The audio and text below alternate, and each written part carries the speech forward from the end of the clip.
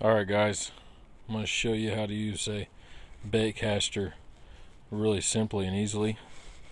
This is a little Garcia bait master. It was 42 bucks at Walmart.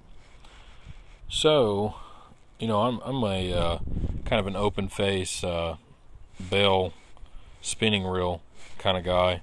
I don't like push buttons. I never really liked bait casters, but my other uh, bass pole was crap so I wanted to try this one out, and I am very, very happy with it. So if you're a beginner, what you want to do is you want to take your drag all the way to max, rake it all the way over, and set this dial, which is your brake, on your uh, spinning reel, and you want to turn it all the way up, okay?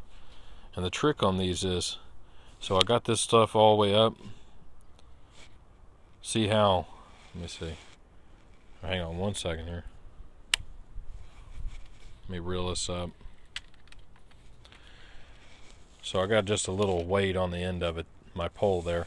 So the trick of a bait caster is keeping your thumb on the line. Okay, so when you push your button, let me show you. This is a little heavy of a weight, so it'll come down a little. Or it won't even come down. So see, when it comes, when you push your button, your line will start to spool.